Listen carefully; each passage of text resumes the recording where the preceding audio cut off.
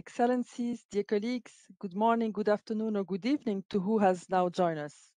Welcome to this new session of the Geneva Nature-Based Solution Dialogues, co-convened by the Geneva Environment Network and the International Union for Conservation of Nature, which we refer to as IUCN. IUCN, headquartered in our region, is an essential global actor, bringing together the world's most influential organizations and experts to conserve nature and accelerate the transition to a sustainable world. We have again the pleasure to have with us today leading experts from their network. These nature-based solutions dialogues aim to facilitate further engagement and discussion among the stakeholders in international Geneva and beyond on um, the role um, and opportunities provided by nature-based solutions in the lead up to major environmental negotiations. Today, we are hosting the sixth dialogue and we will be focusing on the ocean, in less than one year now, the governments of Kenya and Portugal will co-host the United Nations Conference on the Ocean in Lisbon. We are very honored to have with us representatives from the host countries. We have also with us leading experts who will be speaking on the key role uh, of nature-based solutions uh, in preserving, restoring, and sustainably managing uh, the ocean, while delivering benefits for people and nature. We will also be welcoming a guest champion uh, that you will discover uh, just before we start uh, the discussion. Before I give the floor to Minna Epps, Director of the Global Marine and Polar Program at IUCN, who will be moderating today's session, let me uh, remind you that the documents presented, the summary, as well as the video of this dialogue will be made available uh, on the webpage of uh, this event. We will share the link in the chat. Throughout the event, uh, you can raise your questions by using the chat box. We will use your questions to feed the discussion after the presentations. With that, Minna, over to you. Excellent. So thank you very much, Anna, for an excellent introduction.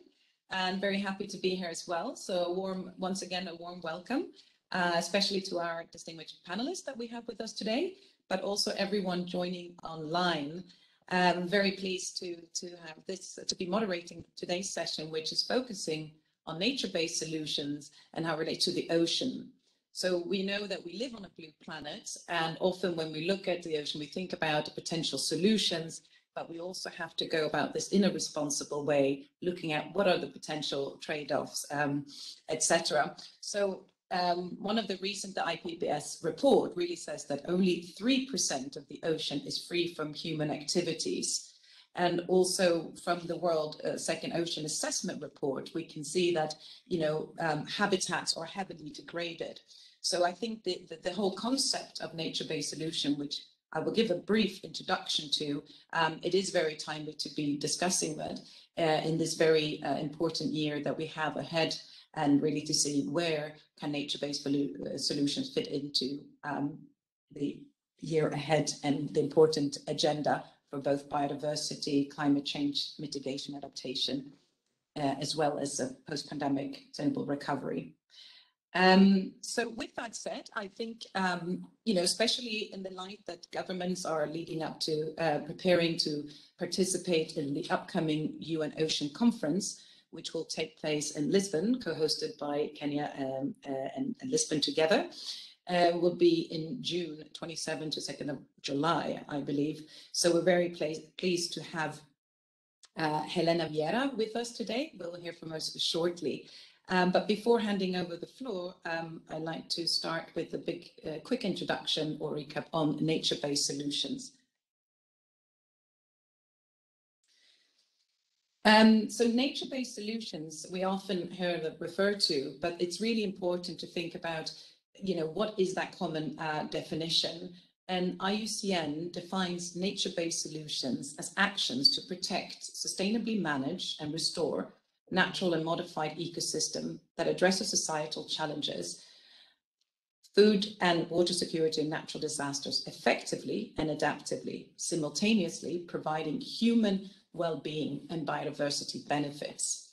So that is the IUCN definition, um, which was adopted at um, a World um, uh, Conservation Congress um, in Hawaii, where this definition was um, adopted in a resolution. Um, and today, I believe that actually is the broadest use definition as it was adopted by uh, our 200 states and, and, and, government and state agencies, as well as our NGO uh, members. So I think that's the broadly, most broadly adopted definition of nature-based solutions. Um, again, nature-based solutions might not be something new per se, but it's a new approach to implement. For example, a key concept is ecosystem-based um, approaches that we that IUCN has a long history of uh, and experience of uh, applying um, on the ground. So if you go to the um, next slide, so the nature-based solution has the potential to address our societal challenges. If you click once again, please, it's great. Um, one important distinction that we like to make is usually to say that we're talking about nature nature-based solutions. So not to be um, confused or exchange, used interchangeably for nature-derived solution or even nature-inspired solutions, as biomimicry, etc. Um, please click again. So um, last year, IUCN uh, launched uh, nature-based solutions, the first global uh, standard for nature-based solutions.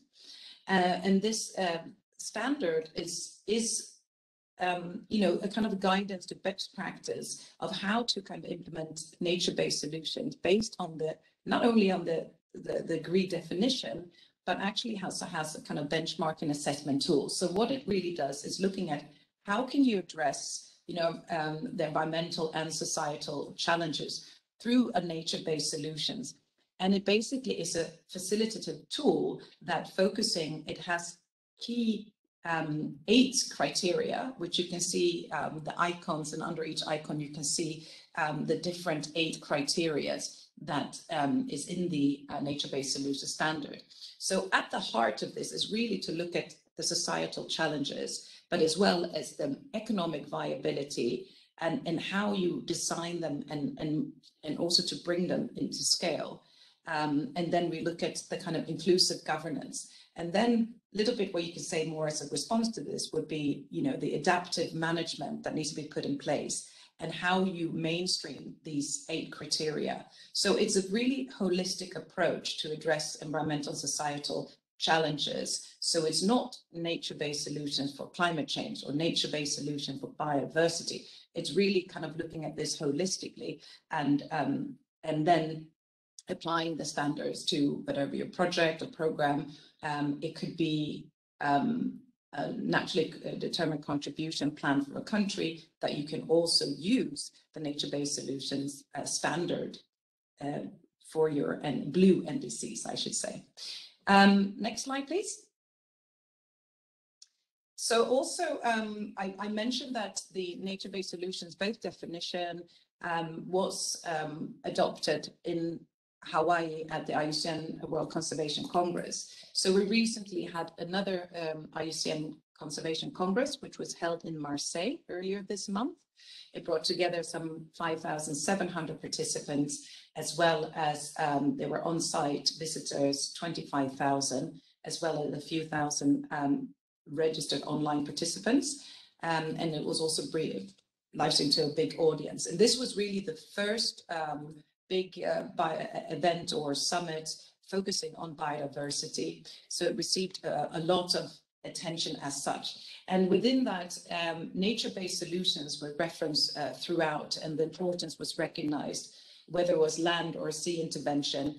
Um, and in the Marseille Manifesto, the nature-based solution was really integrated throughout uh, on the, under the three main themes. So whether it was mitigating and uh, adapting to climate change or biodiversity, but also on the um, actually building back um, the post-pandemic recovery. So it was very prominent and a lot of commitments as well were made in relations to nature-based solutions. So I would say without any kind of further delay, um, I think it's it's time that we hear from our speakers that we have with us today. Um, I'm very delighted to, um, to, to start off um, to, by introducing, we have first out um, uh, Helena Vieira, who's the Director General of the Maritime Policy, Ministry of Sea from Portugal. She would be followed by another intervention for His Excellency, Ambassador Cleopa Mailu, I hope I pronounced that correctly, who is with us today and is the permanent representative of Kenya to the UN and other international organizations based in Geneva. And then we'll hear from Arthur Tuda. And Arthur is the executive secretary for the Western Indian Ocean Marine Science Association, WIOMSA. Um, and then we will also hear from uh, Raphaëla le Gouvello, who is an expert uh, on aquaculture, on ecosystem uh, based approaches to aquaculture, and also president of Ocean Respect. Um, and then we will hear from uh, Jaba Batista, who's the deputy head for the fund, Secretariat Fund for the Global Fund for Coral Reefs. Um, so we'll hear a little bit about private sector investment uh, in relation to nature-based solution. Jaba will be followed by uh, Abhishek Goyal, who is the senior technical director for the standards, for the gold standard. Um, and really, he will be shedding some light in what is the role of accreditation and certification within nature-based solutions. And then we will have Nicolas Pascal, who will also join us, um, uh, who's this executive director of Blue Finance, so we'll also get to hear a little bit about more kind of on the ground and practical examples of what nature-based solutions can look like. And then we'll have our, our guest MBA, MBS champion. Um, and then we will be able to follow up with having a, a, discussion, which we hope that you will all join us for a Q&A um, for to, to uh, you will get an opportunity to ask questions uh, to our panelists. So if that sounds uh, very good to everyone, I would start by giving the floor to distinguished Helena Vieira. Please, the floor is yours. Thank you. Thank you, Minna. Thank you uh, for this uh, honorable invitation. It's a pleasure to be here with this amazing uh, group of panelists.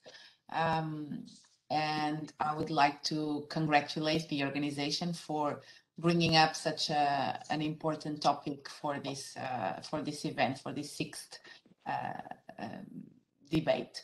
So I would like to just frame my intervention. Uh, I, I don't have any slides. I was asked not to bring slides, but so I would like to, to frame my intervention intervention going from local, from Portugal uh, to global to the um, UN uh, conference.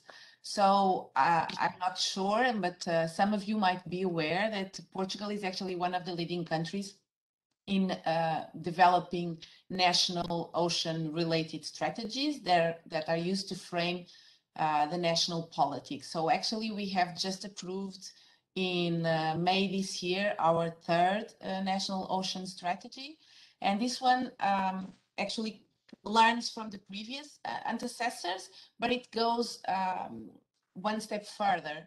And it goes one step further in framing the whole uh, document around one key principle, which is without uh, having a healthy ocean, none of the development axes can actually occur, the economical, the environmental, and even the societal uh, axis. So this is actually the vision for the whole uh, document. This strategy actually uh, is designed around 10 uh, decade strategic goals, which are uh, developed around the main challenges we have for the next 10 years.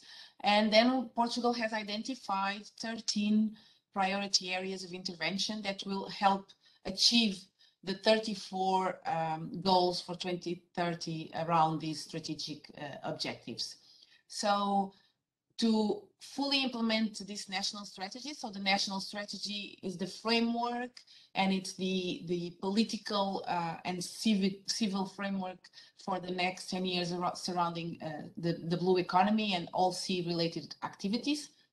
But then we have also designed uh, an action plan, which is kind of the roadmap to how to implement uh, what's designed in that strategy. And this roadmap was just approved this uh, month, so in September, um, and it contains 185 uh, actions uh, that will actually uh, uh, contribute to each specific uh, strategic objective and to each using each of the priority areas that we have identified. So in the end, this action plan is a complex, well, not so complex, it's a matrix where you can actually look for your your favorite uh, priority intervention area towards your smart uh, strategic goals and see which measures uh, are going to be taken uh, in the next 10 years to achieve those, those goals. So I would like to, to call attention to the first strategic goal of this strategy, which is called to fight climate change and pollution and restore uh, ocean ecosystems. This is an, um, a particular um, strategic goal where NBS uh, solutions will have an important contribution to climate change adaptation and to disaster risk uh, reduction. Amongst the targets that I've mentioned, the 2030 targets within this strategy, we have one specific target uh, included, which is the protection of 30% of our coastal and marine areas under national jurisdiction through the classification of marine protected areas, the approval and implementation of management and conservation plans for these areas. So this is a very particular and smart target that we wish to uh, accomplish by 2030 in our national uh, waters. The most important measure, so when we think of now how we are we going to, to implement this, it's in the action plan, and it will be to implement a national program uh, to map coastal and marine habitats to a very high level uh, detail, all its ecosystems and services, assess their conservation status, and identify priority restoration measures. So this is the first step to, to achieve such um, uh, an ambitious goal. These nature-based solutions are, uh, as, as Minna mentioned, key applications of the ecosystem-based approaches in many areas of inter intervention. And we cannot forget that actually preserving, restoring, and sus sustainably managing um, nature is actually an economic imperative, given that all the economic activities will clearly depend on this healthy ocean. And by coupling these two, uh, even within this national strategy, we can increase the outputs of the ocean. So solutions for sustainably managed oceans involves great knowledge and deep knowledge, green technology development, and innovative uses of marine resources targeting their sustainability and life cycle management. It also includes uh, addressing the threats to health, ecology, economy, and governance of the oceans. Only with this holistic view, which is the, the vision of the Ocean National Strategy 2030 in Portugal, can we actually, uh, we believe this is the only way we can succeed. So we have several examples of national of um, uh, nature-based solution projects in Portugal. I will leave the examples for the debate and the second part. Um, uh, and I would like to, to go on from the national also to the outside. So we are not only implementing nature-based solutions uh, uh, nationwide, but we are also advocating it outside.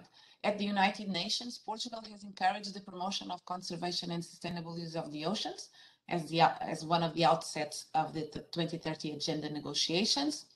Portugal is currently committed on the negotiations of the future agreement uh, beyond um, in waters beyond the national jurisdiction um, and also in the post-2020 global biodiversity framework. Effectively, promoting and advocating for the conservation and sustainable use of the ocean has been a priority to us since the first stage at the UN negotiations of the 2030 agenda. As uh, we've heard already today a few times, we are co-organizing with Kenya the next UN conference uh, to be held in Lisbon next year. The new dates have just been confirmed, 27th of June to the 1st of July, and have been, uh, of course, recently approved by U UN General Assembly. And Portugal is putting a lot, a lot of energy into the organization of this global event. The COVID-19 pandemic has postponed the Ocean Conference twice, uh, but it has not postponed the challenges we face in the ocean. Ocean sustainability requires a new impetus of common uh, action. So this is what we actually hope to bring uh, to the to the uh, to the UN conference, and we sincerely believe that a constructive debate will bring a common vision and common solutions after uh, this this gathering. Stakeholders dialogue and new commitments from governments and civil society is what we are looking for, and will further improve sustainability solutions. I would also like to emphasize that the Ocean Conference is related to other initiatives at the global level uh, notably the UN Decade of Ocean Science for Sustainable Development, and its vision aimed at achieving the science we need for the ocean we want. We need to use the knowledge for transformational action needed to achieve a healthy, safe, and resilient ocean. Also important, and another interconnection and a global view of all of this, is the interconnection with the UN Decade uh, of Ecosystem Restoration.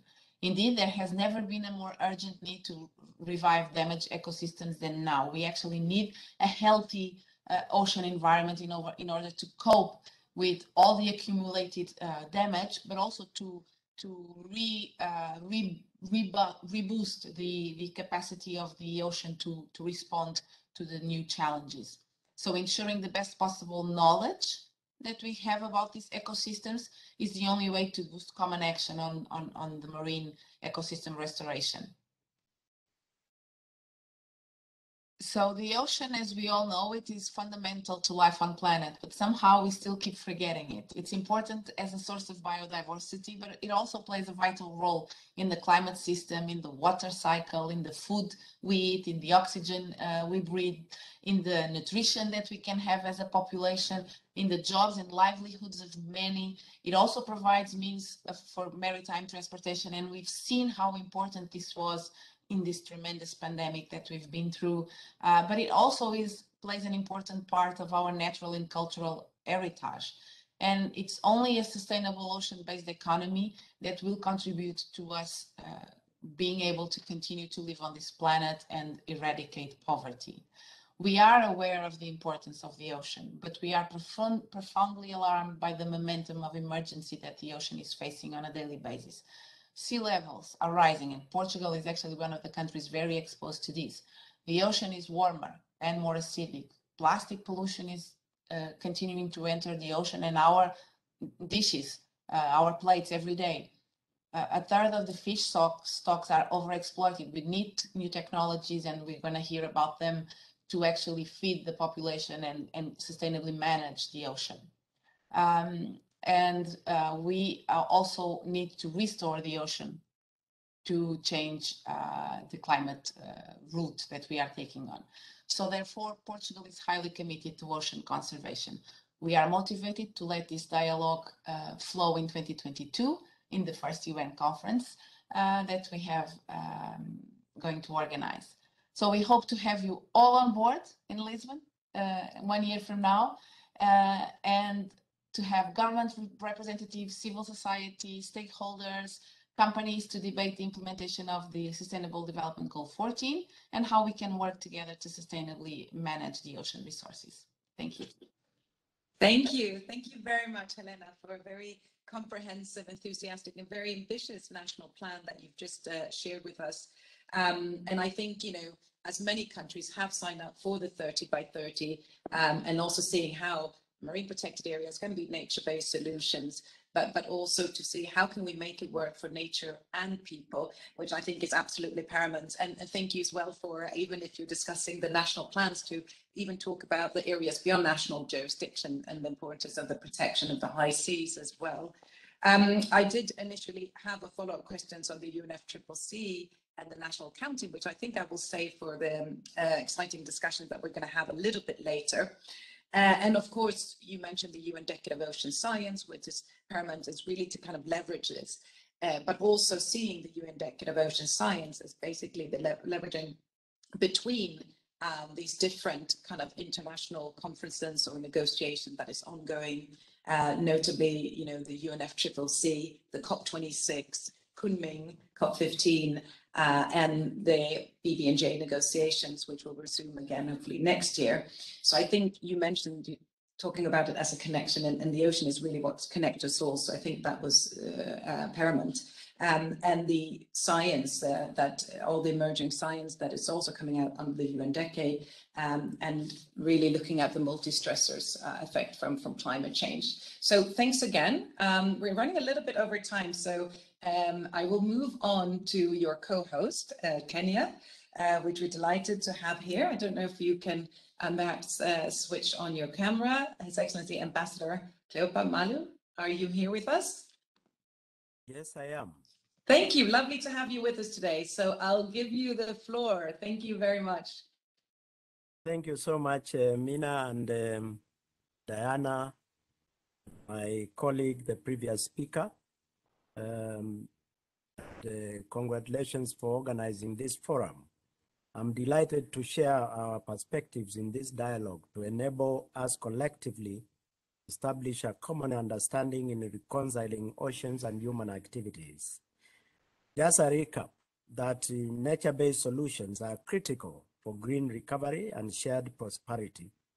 Today, oceans are threatened and sustainable human actions continue to negatively impact on our oceans and further threaten our food security, water supplies, and our biodiversity. The delivery of the 2030 Agenda for Sustainable Development is heavily reliant on oceans, seas, and marine resources. In particular, SDG 14, Life Below Water, seeks to protect our oceans. This year, 2021, marks the beginning of the UN proclaimed the decade of ocean science for sustainable development, that is 2021 to 2030.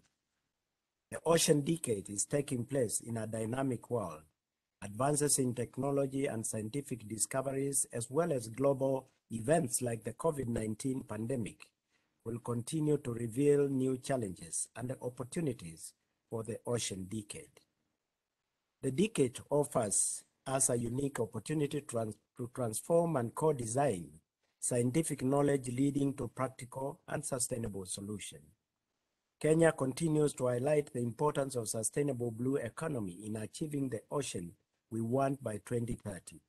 Support efforts to reverse the cycle of decline in ocean health and creation of improved conditions for sustainable development of the ocean, seas, and coasts are urgently needed.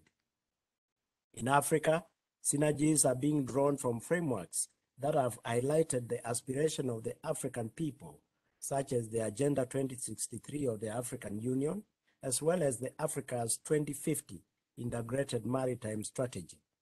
The African Union has also retained the 2015 to 2025 as the decade of African seas and oceans, and the date of 25th July as the African Day of Seas and Oceans.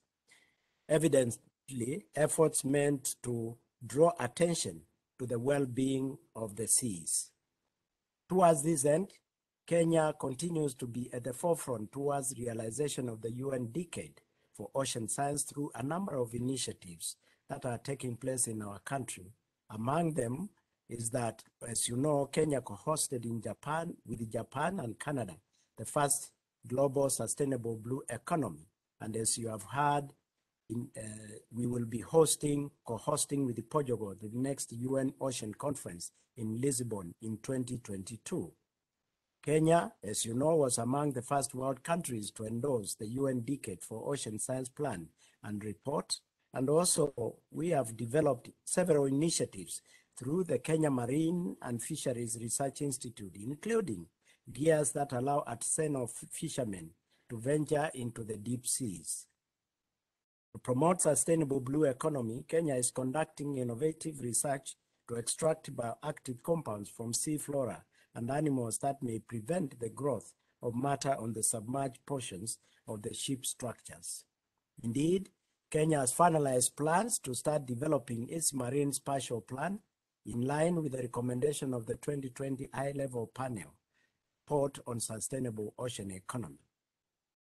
Kenya is as a world-known project, which we call Mikoko Pamoja project at Gazi in the Kwale County, which is the first mangrove blue carbons project in the world, and it protects mangroves and ensures the continued capture or assimilation of carbon from the atmosphere. Communities in this area of Gazi and Vanga are now financially benefiting from selling carbon credits. Lastly, Go Blue Initiative program was launched in Kenya on March 25, 2021 to support Kenya's coast and blue economy. The four-year program aims to protect Kenya's coastal ecosystems while creating environmentally friendly jobs in a host of industries, including recycling, tourism, and small-scale fishing. Regarding coral reefs, which are endangered across the globe, so far, up to half of the world's coral reefs have been lost. And we are informed that if global temperatures do rise by 1.5 degrees centigrade, 90% of all the coral reefs could disappear. Reef degradation jeopardizes one of the richest resources or sources of biodiversity on Earth and the livelihoods of a billion people. At the Kenya coast, massive decline of healthy coral reef of course poses danger to the marine ecosystem and the maritime sector. There is danger in reduced tourism, loss of coastal protection that may lead to poverty, property damage, and erosion, leave alone loss of livelihoods. The government has enacted measures to promote better fishing practices that are less harmful to the reef. Kenya's marine parks are committed to protecting coral reef communities with higher hard coral cover and larger diversity of finfish, and many stakeholders have been involved. Kenya has become second only to the Seychelles in the Indian Ocean region to take up coral gardening to stimulate natural regeneration and recovery and to restore habitat complexity. These projects are currently being expanded in other degraded coral reef sites across the region. The Global Fund for Coral Reefs, officially announced in September 2020 on the sidelines of the 75th session of the UN General Assembly, came in handy to supplement Kenya's effort in conserving the coral reefs. The fund plays an important role in conserving and restoring the critical ecosystems which are under threat around the world. This is the first impact fund dedicated to SDG 14. Kenya Tanzania Transboundary Conservation Area was among the initial recipients of the project fund. Fund is being invested in profitable businesses and ecosystem projects to guarantee the resilience and conservation of marine biodiversity, adequate living conditions of local coastal communities, and a return to private investors. Ultimately, the fund will prevent the extinction of coral reefs by eliminating the coral reef financing gap which has existed and supporting interventions for their best chance of survival, or seeks to promote a protect, transform, restore, recover approach in priority locations with the resilient reefs of exceptional biodiversity. As we have heard from the previous speaker, the world is called to, to an urgent attention to make sure that the balance between the oceans and human uh, activities is implemented sooner than later. In implementing all these measures, we are seeking to contribute to the transformational change that will put nature on the path to recovery by 2030 and achieve the 2050 vision of living in harmony with nature. Kenya intends to be to take lead and to continue with its activities to ensure the coastal line within our boundaries is preserved and regenerated to support the livelihoods of our people. I thank you.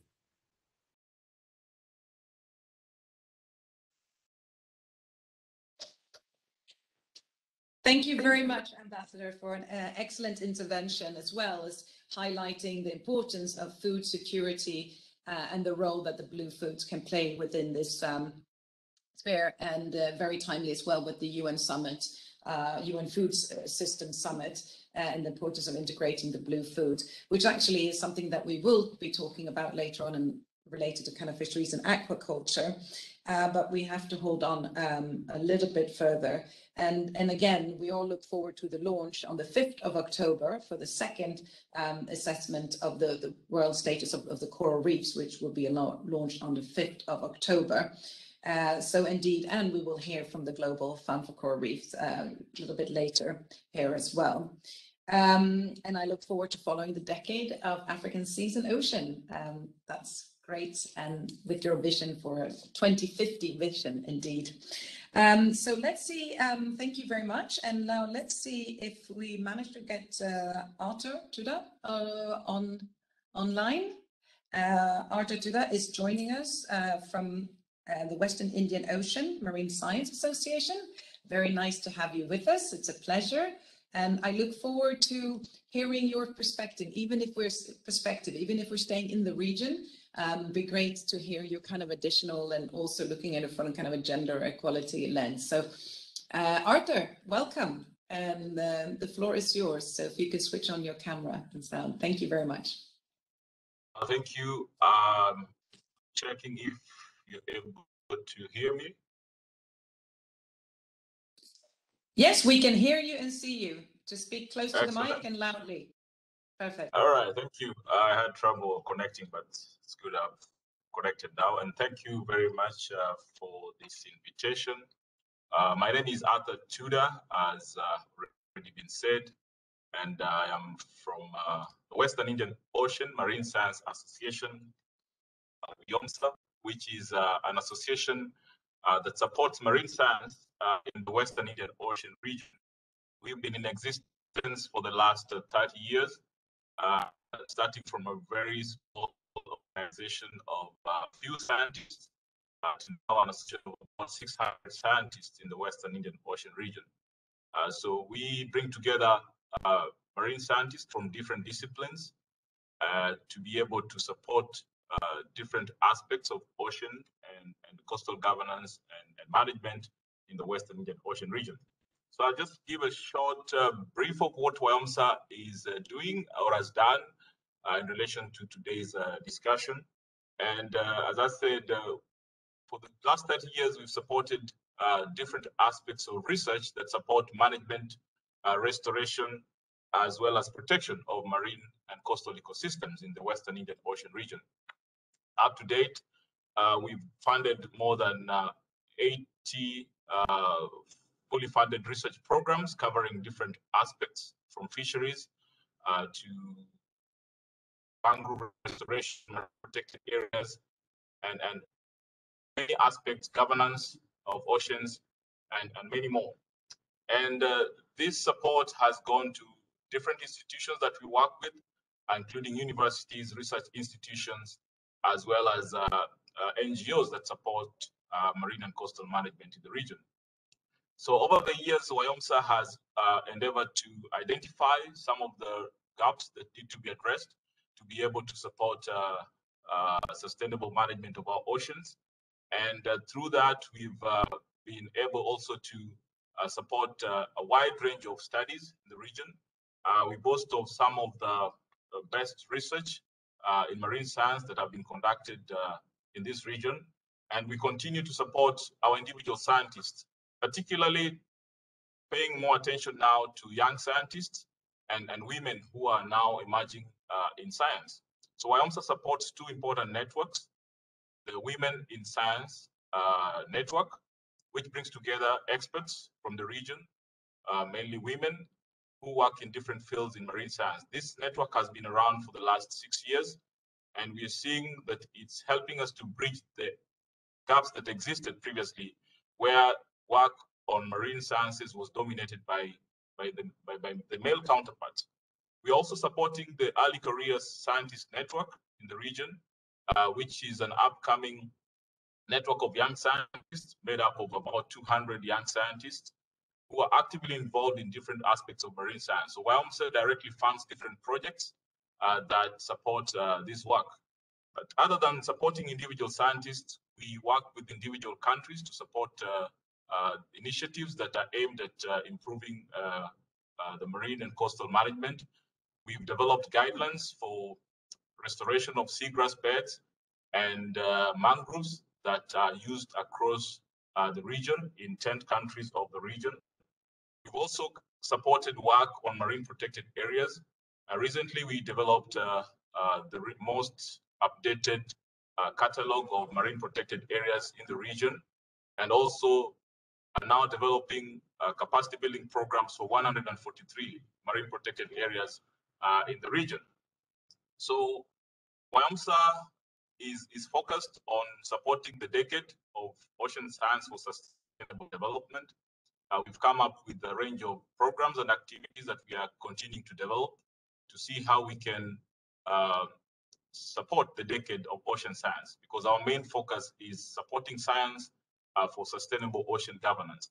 And in our recent uh, strategic plan for the next five years, our main focus is going to be on restoration, science that supports supports restoration of our ecosystems, uh, science that supports marine spatial planning in the region, and science that supports uh, ecosystem management, ecosystem-based management, and particularly paying keen attention to marine protected areas and locally managed marine areas in the region. So WIOMSA also is involved in uh, supporting the SDGs, particularly SDG 14, on marine litter, on pollution, and on ocean acidification. So we have programs that are currently running that are looking at uh, issues of ocean acidification. We've set up monitoring programs across six countries in the region uh, to establish uh, baseline data for ocean acidification parameters, as well as uh, marine litter monitoring programs that we've also established in, in six countries. So these are activities that are currently running in the region supported by WIOMSA, and all these aim to support the decade and uh, the SDG goals, and particularly those focused on SDG 14, as well as those focused on climate change. So in a nutshell, that is what we do uh, in the region to support countries, as well as science done by institutions and individuals in the Western Indian Ocean region. Thank you very much.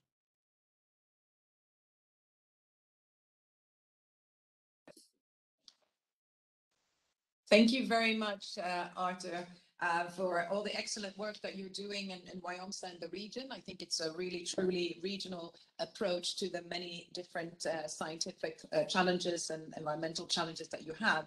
Um, and also really delighted that one of the outcomes from the um, IUCN Conservation Congress is really looking at the Great Blue Wall Initiative, which is really also focused on, on, on regenerative, uh, inclusive governance and productive seascapes.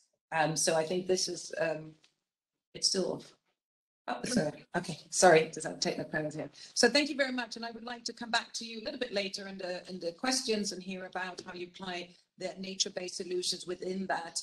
Um, I'd like to turn to Rafaela Leguvelo, um, who is also joining us here today and really talking about nature-based solutions or, or even if um, it's also been discussed that fisheries and aquaculture can be nature-based solutions. So we'd like to hear a little bit uh, from you, Raphaëla, and the work that you have been doing or we've been doing in, in collaboration with you as well and, and um, also in, in under the light of the blue economy. So Raphaëla, I, will happily give you the floor and um, okay, Th thank you, Minna. Myself. Thank you, and uh, thank you for um, for this invitation to talk uh, uh, in this webinar with all these uh, great panelists. So, I mean, uh, I'm going to be talking on uh, from a really practical point of view about NBS because you know one of the idea of the NBS frame and the concept is to actually reconcile blue economy and um, and different sectors of activity and find out uh, the best solutions. And uh, when we're talking, for instance, on the fisheries and and aquaculture for seafood, uh, NBS could be transferred to um, agro agri systems so why not considering NBS for the uh, seafood production and the critical um, issues such as the fisheries uh, are meeting, like, uh, you know, that one third of uh, the marine fish stocks are still being considered as overfished, not talking about the pollution problems, etc., etc. So, I mean, fisheries, sea, seafood coming from fisheries is a real problem. And then um, aquaculture. Everybody knows, you know, particularly in the, for instance, in the countries of Southeast Asia, but also Indian Ocean countries, we know the huge potential that has been behind the aquaculture production over the past decades. But it's, you know, it's it's almost 50% of the seafood today. But uh, we know also all these um, environmental and social negative impacts which have been uh, associated to um, to the production of um, aquatic animals, etc., etc. So it it actually really makes sense uh, to consider the NBS concept and frame uh, global standard framework for the the case of aquaculture and probably also for fisheries.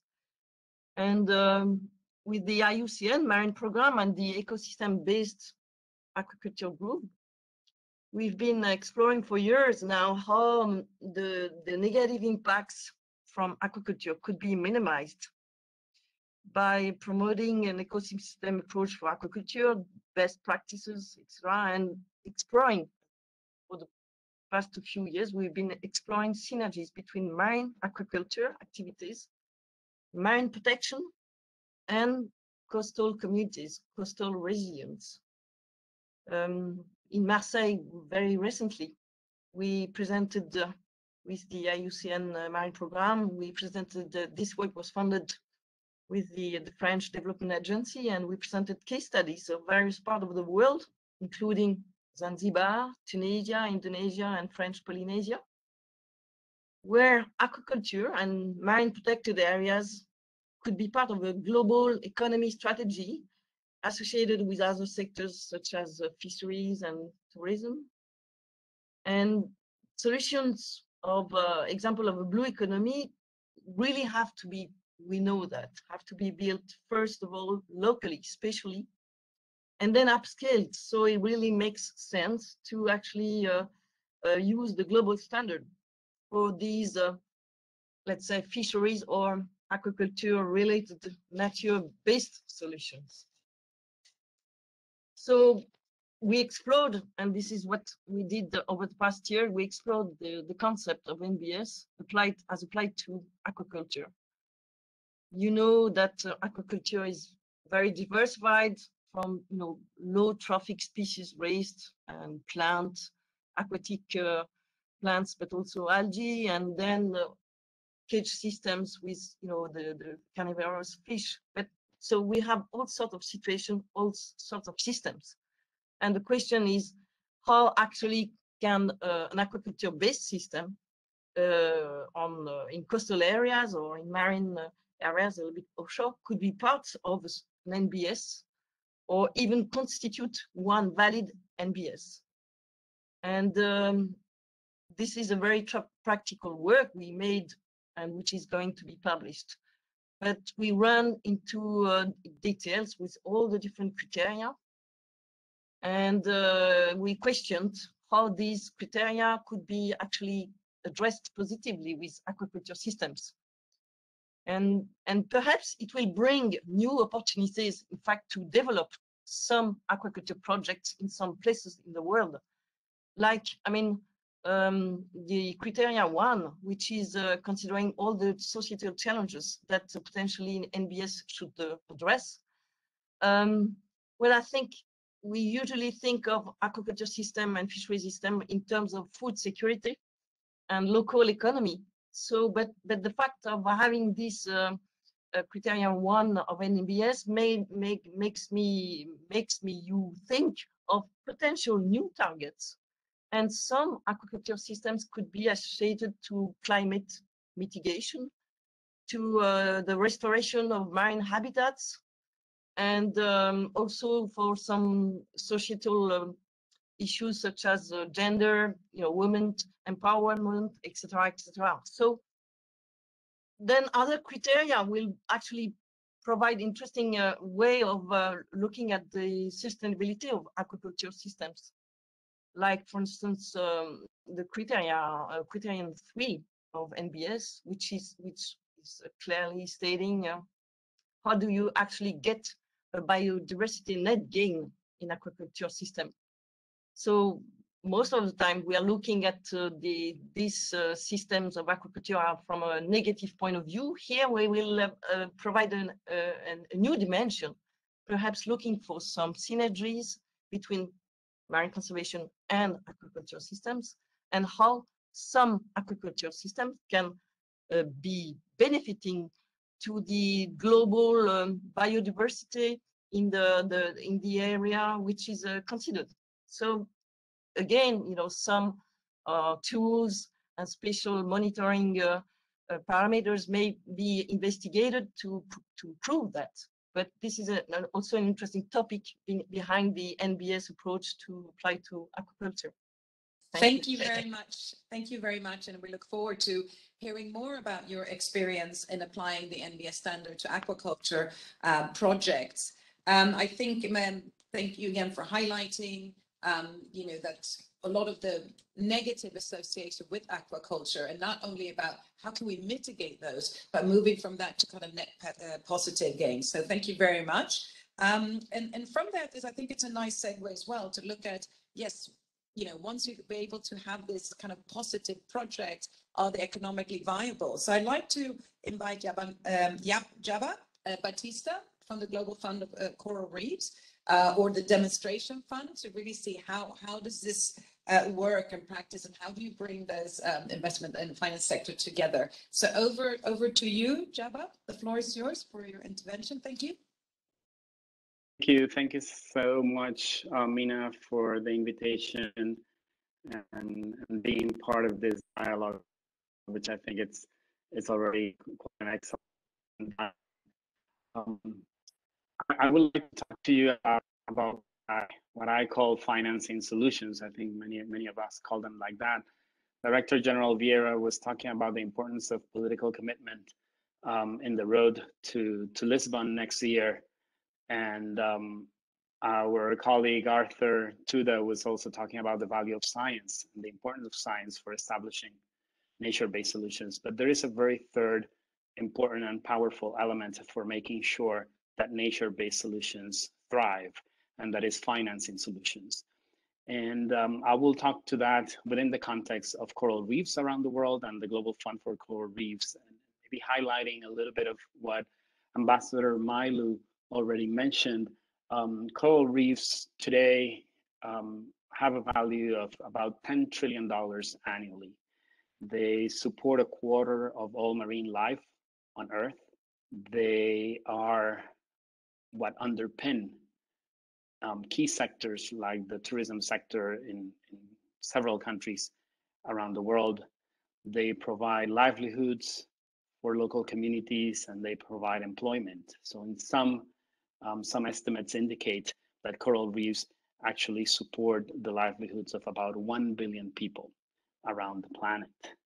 But indeed, um, the coral reefs are in peril, um, with 90% of them um, quite quite degraded and facing extinction in the next 30 years. And that's where, where the Coral Fund for Coral Reefs comes in, um, because all this degradation is happening, yes, because of climate change, because of all the, the drivers of degradation, but we also don't have a key element for, for being successful, and that is financing, as I mentioned before. Current levels of financing for coral reefs are seven times lower than what we actually need to ensure their future. And launched in 2020, the GFCR is um, the first um, UN impact fund dedicated to SDG 14, life below water, and is designed as a blended finance vehicle that is going to mobilize about $625 million um, with, within the next 10 years for coral, coral positive actions in, in countries around the world. And we will be doing this by investing in the most resilient reefs around the globe to give them a chance for survival so that then they can help us restore the reefs around the world when, when we continue to suffer the impacts of climate change. And the second main objective of the fund is to, as, as we protect those most resilient reefs, is to then also reduce the drivers of degradation to, to further um, increase their, their resilience. Um, one of the things that I find quite interesting about the GFCR is that in, in the model that we have established, we, we are promoting, as Minna just said, uh, a demonstration fund that is is aiming at showing the world that we need to go beyond grant financing. And that's why this is a blended finance approach. Um, we can have all the grants in, in the world and they are very much needed. But if we don't start par partnering with the private sector, with impact investors, we are not really going to generate the amount of resources that we need to save our corals. And and that's why um, the GFCR focuses on on this link between grant financing and private sector financing, where, where the grant activities that we finance that include um, feasibility studies, technical assistance, capacity building, monitoring, evaluation, really become the basis to enable then the creation of positive reef businesses that can then um, be ready to absorb um, investments from, from private sector actors.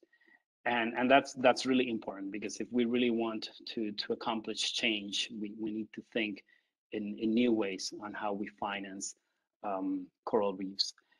And um, just to conclude Minna and and all um, at the beginning, I mentioned that that we were talking already about three key ingredients that are needed for nature-based solutions to to thrive: um, the policy commitment, the science, and also financing. But there is a fourth element that I think it's crucial for for creating change, and that and that is partnerships.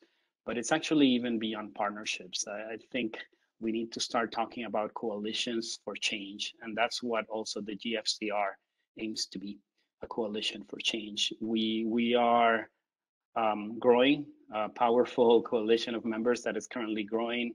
Um, we currently have support from the governments of the UK, France, Germany, um, two foundations, the Paul G. Allen Foundation, the Prince Albert II of Monaco Foundation, and we work in partnership as well with three UN agencies, UNDP, UNEP, and the UNCDF um, that that is really part, I think, of what um, is hopefully going to make unsuccessful is is that focus on partnerships and and coalitions. But this focus of co- on coalitions is not only at the high level um, of working with donors and UN agencies. We we are also aiming and striving for making sure that we can translate this this idea of coalitions to the programs that we are developing and implementing on the ground and in fact, I'm actually quite glad to see uh, my colleague Nicola Pascal from Blue Finance in this event with us because Nicola and Blue Finance are what we call convening agents, which are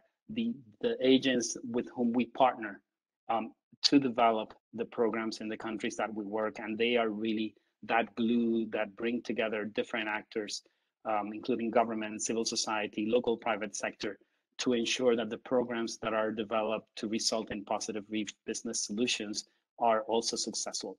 So um, I think with that, Minna, I would like to, to conclude my, my remarks and thank you again for the invitation. And I look forward to being with all of you as well in Lisbon next year. Thank you.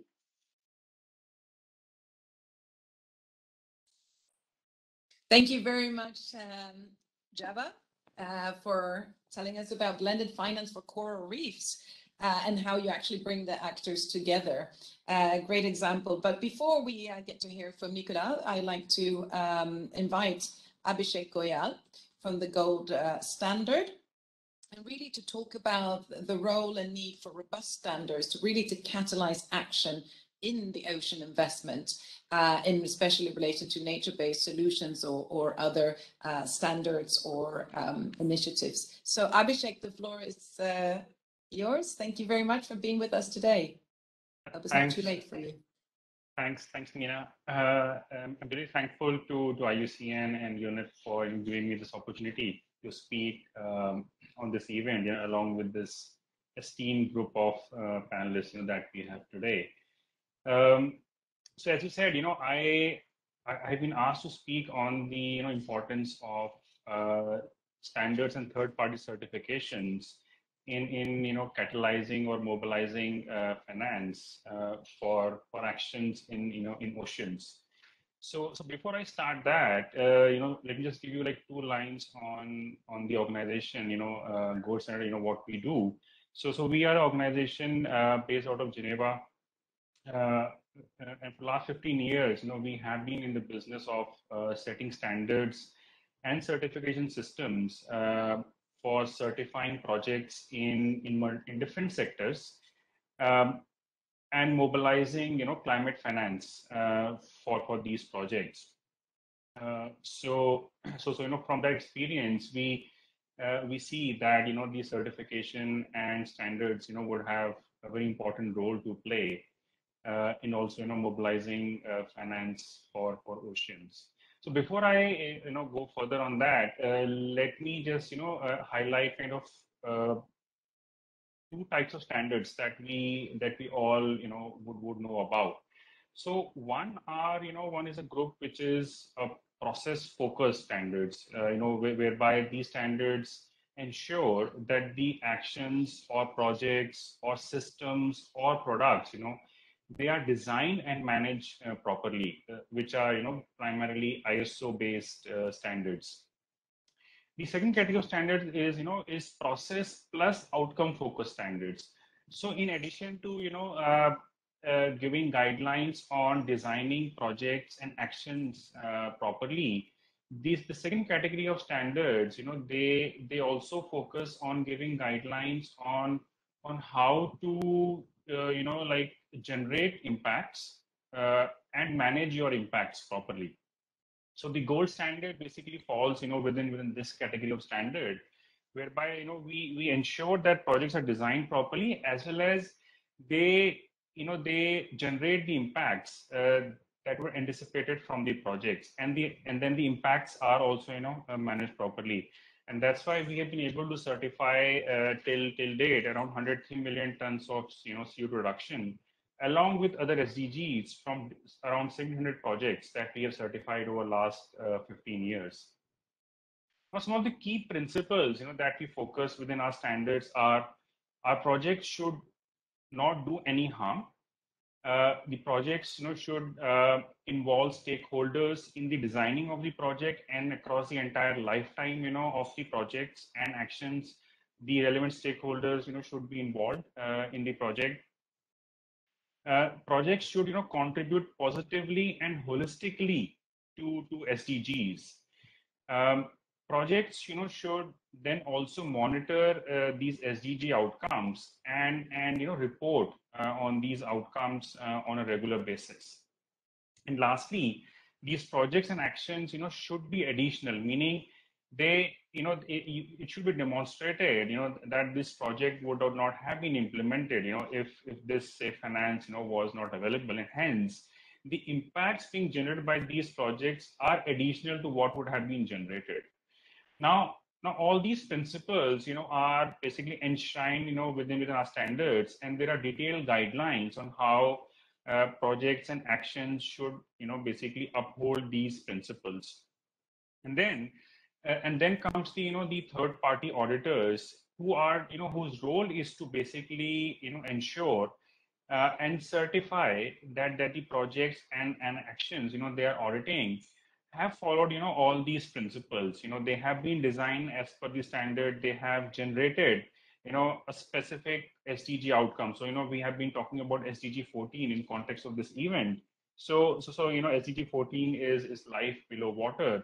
So so there are you know multiple sdg targets and indicators. So our standards basically operationalize you know those those sdg targets and indicators for projects and actions to report their performance and outcome, you know, against those indicators. So, so we work with multiple SDGs, you know, across our projects. Uh, our main focus is SDG 13, which is climate SDG. We work on SDG 3, health, SDG 5, you know, on gender, SDG 7 on clean energy. So, we, so we work across multiple SDGs and give projects the, the tools to report their, you know, outcomes uh, in line with the SDGs. Now, now you know uh, like one would one would ask like what is the what, what is the importance of setting these standards and you know getting this third party certification? So if we look at this specifically from you know impact investor so so first of all you know all these you know all this process gives the stakeholders you know into the project the confidence that these projects are designed well and you know they are also performing uh, well as you know as per the plan specifically for the impact investors, you know, this these standards and these third-party certifications, you know, what they do is they they give the confidence to the investor that in addition to generating the financial returns uh, from the project, you know, that I'm invested in, my investment is also doing good for the people and for the planet. So the investor is able to ensure that for each dollar invested, you know, they are generating like multiple times of you know returns in terms of of social and environmental benefits so so so i think you know these these standard certification they have a huge role to play in in attracting you know private sector finance uh, to to you know actions in oceans um, and and you know as, I think uh, uh, like my previous speaker Mr. Batista you know also referred to the blend, blend finance you know uh, area whereby investors are looking you know uh, to see impacts from the projects just beyond the financial returns. And the standards basically, you know, play this critical role in giving the confidence to the investors um, that you know they, their dollar is being used properly. Yeah, thanks. Thank you very much. Uh, thank you very much, Abhishek, for kind of highlighting the important role of in, uh, independent verification and certification, um, especially in terms of you know measuring, um, uh, not only assessing but measuring also the impact and verifying this independently. So thank you very much. So conscious of time, I'd like to move over to Nicolas.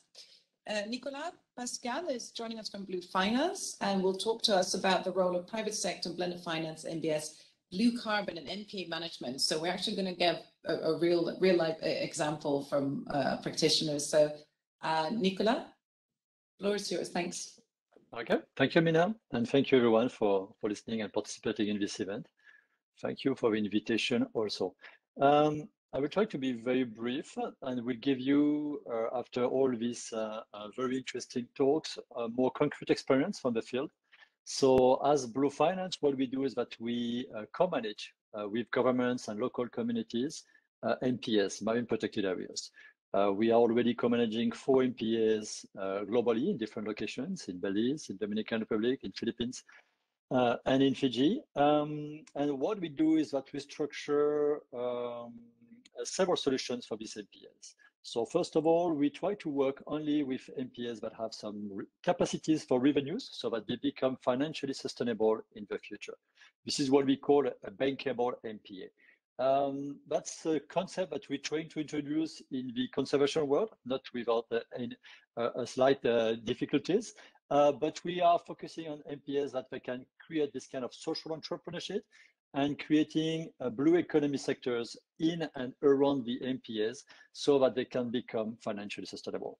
That's what as Blue Finance we do, and that's what we do with uh, um, directly on the field as a management uh, entity of the MPS. So obviously there's a whole process behind this. There's a preparation phase. It can take some time with governments. We have to work on uh, some kind of a co-management agreement or a public and private partnership or delegation of management that can take some time. So we can define exactly uh, who is doing what. Uh, as you may be aware, any MPA has four, main, has four main activities on the field that we will implement. Uh, one of them is community engagement and development. Uh, the other one is really uh, uh, nature or wildlife protection, so including surveillance and and, co and compliance. the third one will be more science and monitoring. And the fourth one that we are introducing is really the management and the generation of revenues. So when we see obviously generation of revenues here, everything is to be reinvested into the MPA. There's no for-profit structure. I think this is important to mention. And obviously based on the sustainable side. So we're working on blue carbon, we're working on nature-based tourism, uh, we're working on sustainable fisheries, aquaculture, macrofinance. That's the five main uh, um, uh, income streams that we are uh, developing. So that's, let's say, on the field work. Um, so where we are already quite busy and trying to find some time for to, to share a little bit of experience with this kind of, of event. Um, and I would mention a third aspect that we are working also. So beside uh, negotiating with government and beside uh, implementing the management plan of EMPS and developing all these activities and creating these revenues, uh, we what we do is uh, we structure a blended finance solution for the MPS. So once we have a long-term agreement from government, once we have a smart business plan, uh, what we need now is to implement it. And to implement it, you always need some upfront capital. You need some money to start with, to pay the staff, to pay the equipment, uh, to invest in an ecotourism facility or to do a blue carbon project. So this upfront capital, but sometimes can go to $1 million, $2 million, uh, depending on the size of a project, is uh, structured through a blended finance solution. Okay, so when we say blended here, uh, that means really uh, mixing catalytic funding, like a grant uh, coming from philanthropy or from government as a subvention, with a more uh, uh, a financial instrument like a debt that can come from a concessional partner like a development bank or an impact investor.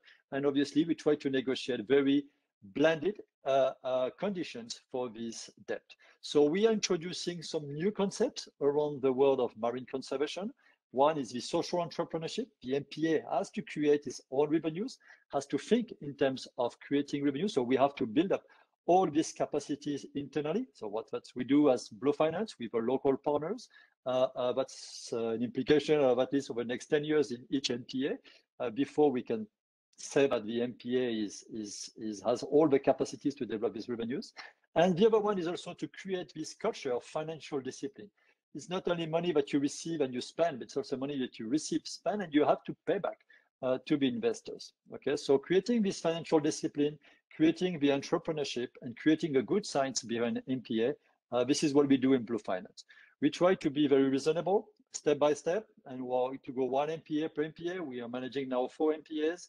Uh, the aim with partners like the Global Fund Coral Reef and other partners is really to upscale uh, this approach on, on, a very reasonable scale and a very passionate uh, approach and to learn from our uh, lessons. Okay, so that's um, in a few words what we what we're doing.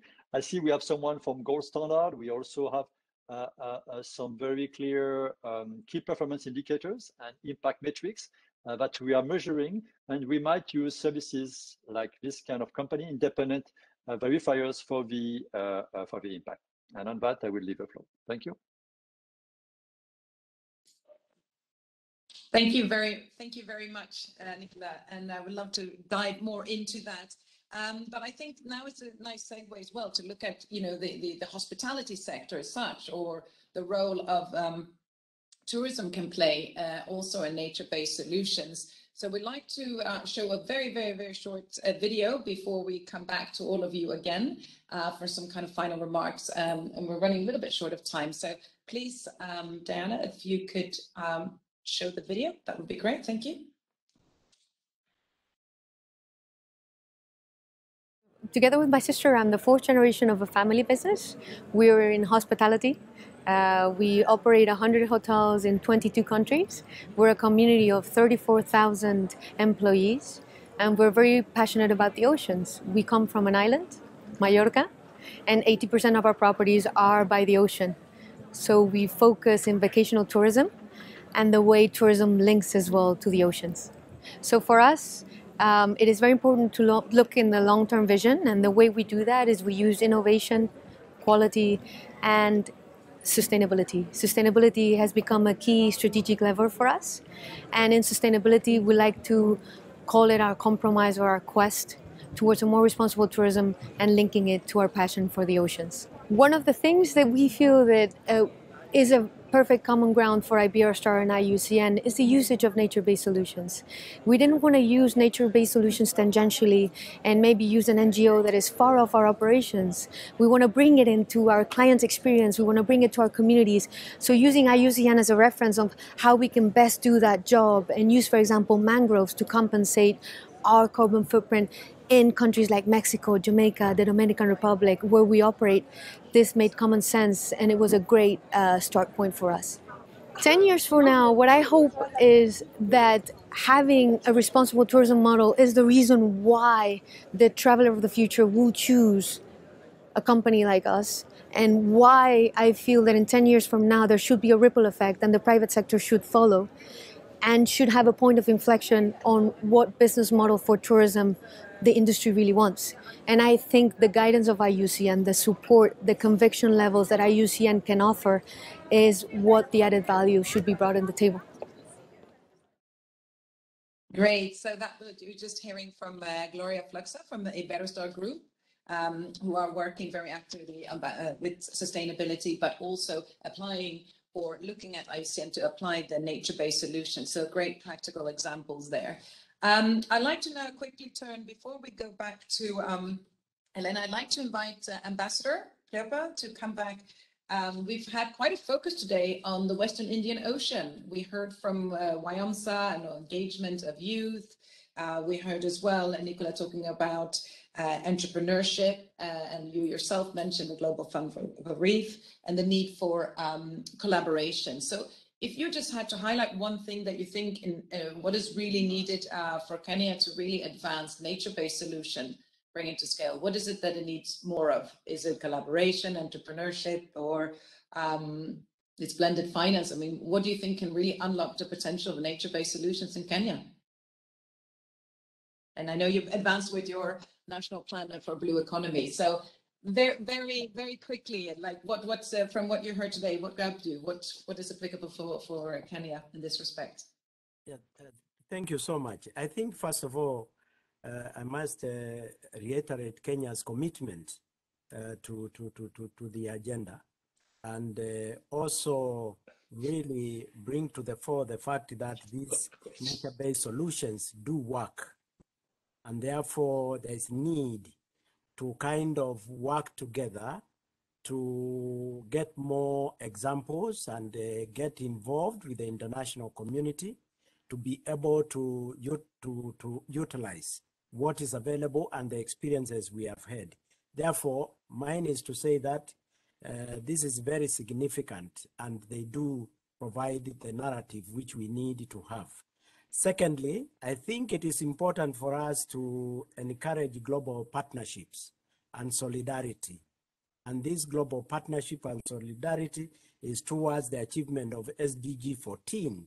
And therefore, the support for sustainable financing, including the GFCR, will go a long way in helping communities and countries to address the challenge we are facing, whether it is in the coral reefs or elsewhere.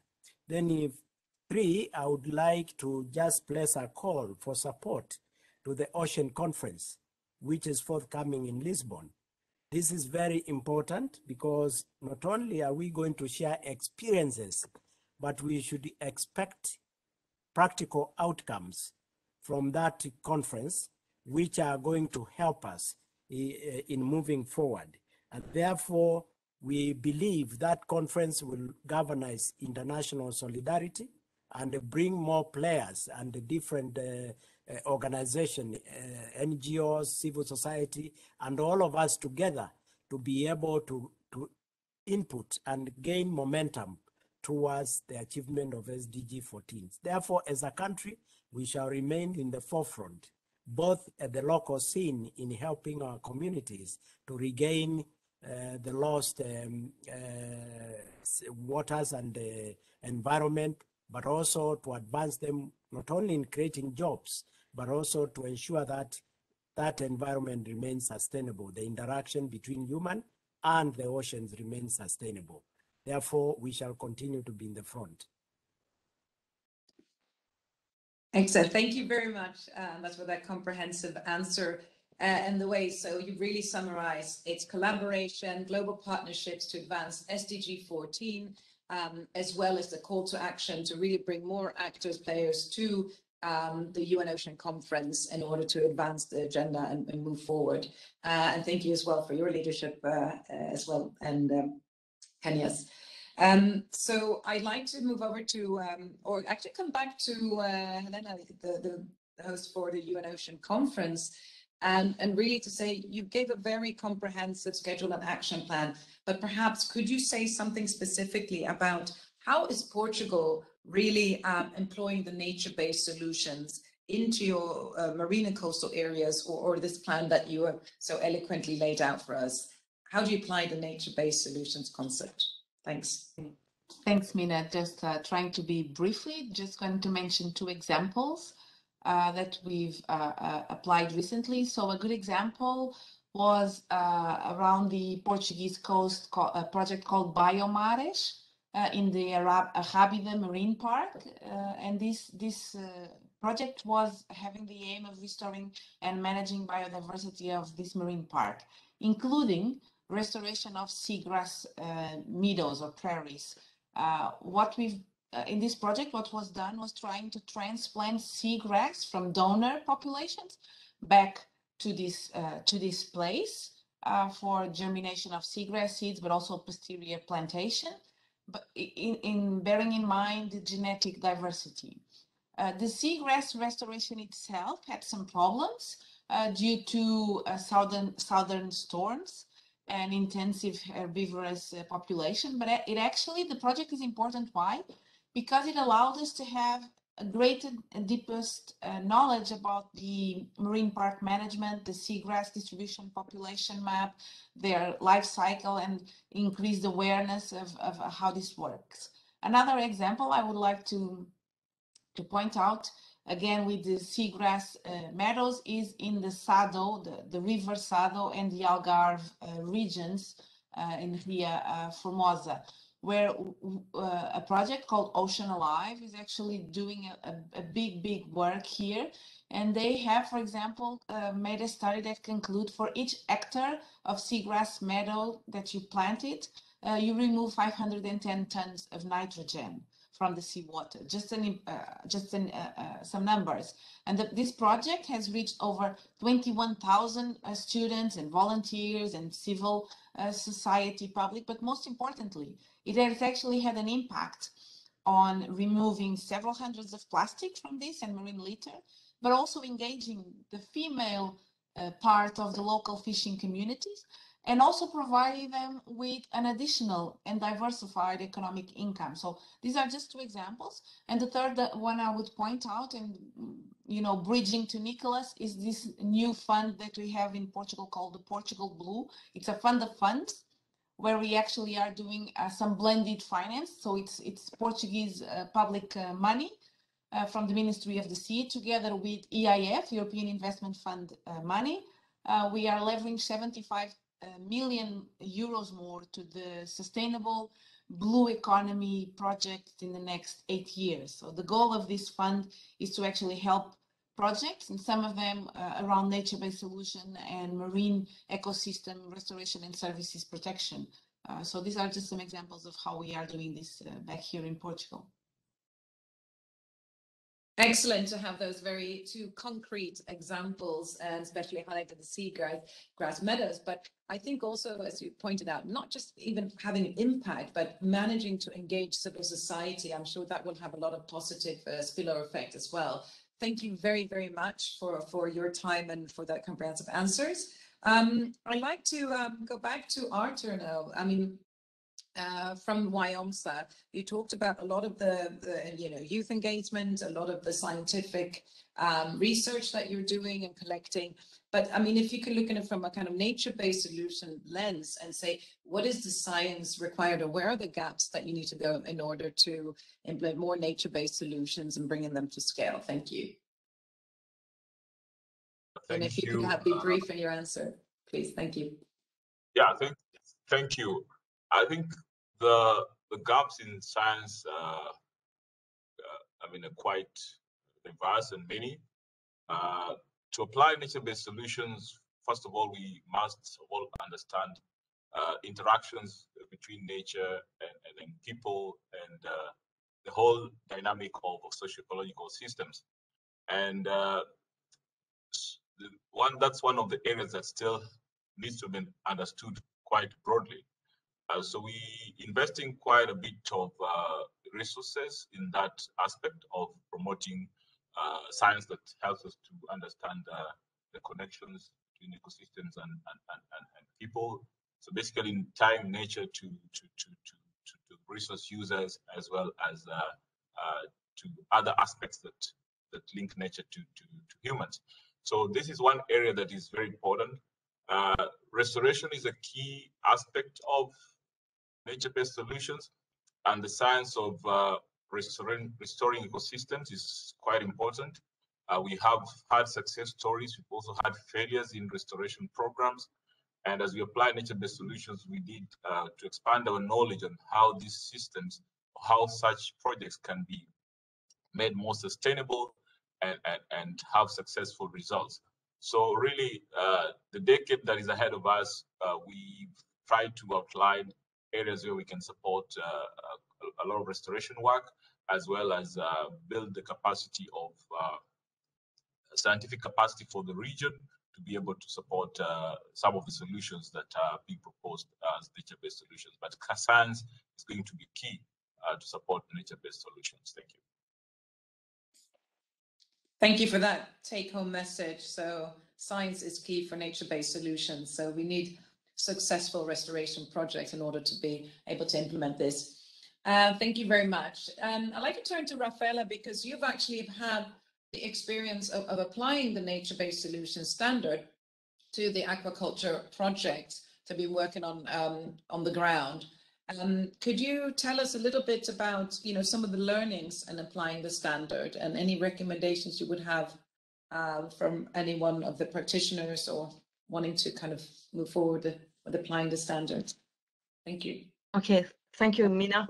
And uh, for sure, I agree with uh, all the um, the other participants to say that we need the good sciences to to document further, investigate and explore, you know, nature-based solutions. Um, I'm drawing to your attention, you know, that, you know, they have, uh, they, there are European calls at the moment for research work and uh, pushing towards nature-based solution. Although the the understanding of nature-based solution according to the EU is a bit different, perhaps from the global standard. But anyway, I think there is plenty of space to actually explore more the concept and the tool provided through the global standard.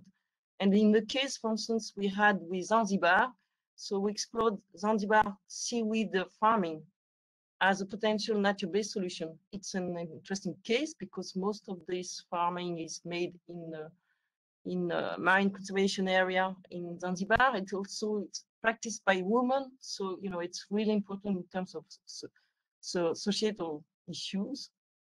And but even with a, a candidate like that, you know, with very strong assets to say, well, this is a good uh, nature-based solution, uh, aquaculture-based, uh, and included in a general blue uh, economy strategy for Zanzibar. We find out through the global uh, standard, we find out some weaknesses that could be probably much enhanced through some work, additional work by the communities, by the um, institutions, and also the uh, scientific uh, guidance as well. So, for instance, you know, you cannot develop sea, sea, sea, seaweed farming without taking into account other species, like you know you mentioned seagrass, and you know there are some potential negative impacts. Um, whereas you know uh, seaweeds can bring additional benefits to the uh, the ecosystems, and then uh, the whole uh, economic viability of the system. Uh, the global standards brings up um, interesting question about you know what kind of a growth you want what what is is it is it inclusive? And is it very much depending on export markets? So you know wh where is the added value? Where is the the the general economic system that you want? So we have a whole set of questions which belong to the sustainability assessment of aquaculture systems but put in in a glance with the the, the global standard uh, tool. And that this is where I think it is interesting in terms of concrete words. Thank you so much. And I think because we're running out of time, I wanted to give the other two as well um, an um, opportunity to um, come in. Um, so, um, Jaba, uh, you heard Kenya's call uh, on um, sustainable finance. And I'd just say what's been really the key for the Global Fund for Coral Reef to kind of unlock the private sector uh, investment for NBS? How do you see the nature-based solution fitting within um, your demonstration fund, please? Thank you, thank you, Minna, so much for, for that question. I, I think the standard for nature-based solution is, is a tool that all of us that are funding sources really, really need to look into and, and take into account when designing our programs. We want our resources to be deployed effectively and, and create change. And I do believe that the NBS standard um, can help us um, achieve that. And um, within that context, and maybe getting to to to the other part of your question on what what's helping us unlock things, I think it's the unlock financing is is this tension that exists between the what what we need to to accomplish to get private sector deployed. Um, often the private sector is very much willing to come to the table. They want to deploy resources, but they don't feel the right conditions exist on the ground. And that is what this fund, with, for example, the, the, the work that, that Blue Finance also described, is, is trying to achieve. We, we want to ensure that through the grant mechanisms, we establish the enabling conditions, we, we pave the way for those investors to feel more secure and able to, to come in. So I, I think that it's a, a key ingredient for, for this success, for this to be successful, and the NBS standard can really chart the course and help us get there. Thank you. Yes, let's start the course together. So for the final two um, uh, panelists, Abhishek and, and Nicholas, I was thinking, you know, I'll give you kind of the, the final take home message um, that you like, because um, Abhishek, you have already kind of explained to us why independent certification is important. So from your perspective, uh, what is your ask or what is your pledge in relation to nature-based solutions that you would like to give as a final takeaway? Um, and then um, after you, um, I'll invite Nicolas to do the same from a practitioner point of view as well. Thanks. So you go first, Abhishek.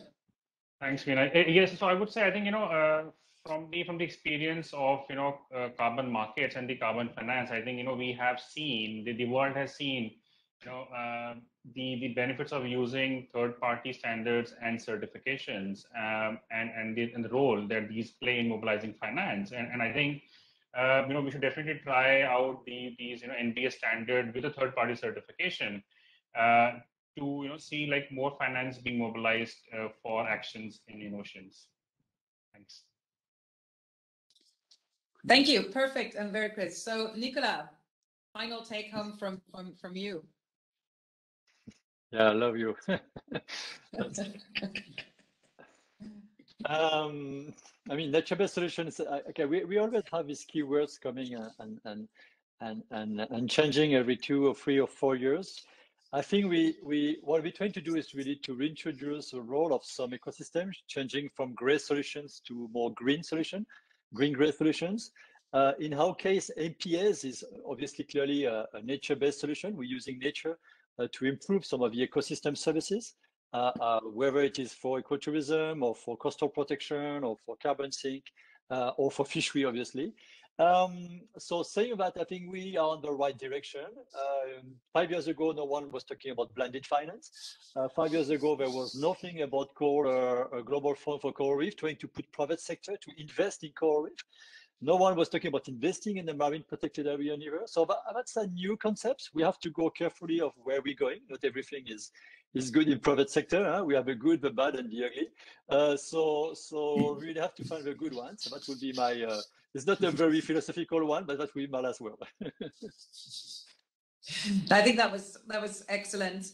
Um, and maybe not every two, three years, but even longer. Some concepts take a long time, but it's true that they, they, they are rooted in very similar things and, and they have to change. Um, same thing, we've been talking about investment in coastal ecosystem for, for years or even decades, but it's like, how do you do it? So it's, it's a new way of kind of implementing or advancing or to ensure that investment. And, you know, we are learning, um, and as yeah, Jabba has said, you know, it's, it's a kind of a demonstration fund. So um, we're in this together and we can make it work. And nature-based solution provides an excellent framework for that. Um, so before, uh, obviously, I want to thank all of the, the panelists for taking your time to share with us. And um, I know there was a lot more to, to kind of discuss or dive into. Uh, also for demonstration, we will have um, on the website, there will you can also find the links to the presentation, but also videos. So once again, thank you very, very much. And I now like to hand back over to Diana to say some final uh, remarks and uh, give a flavor for next NBS Lisbon. Thank you very much, all. Thank you. Thank you, Minna. Thank you, very, thank you very much to all the speakers, to all the attendees, and to our moderator, Minna, today for the excellent work. Um, just a few words to announce uh, that the next session will focus on the on building re resilience a few days before the disaster reduction day. Um, so uh, we hope to see you all uh, at the next session of, of these dialogues. Also to remember, as it has been said, that uh, the summary, the video, and all the links uh, and products mentioned through, through this session uh, are available on the webpage of the event, and that we will be sharing that with who has participated uh, within this session. So thank you all.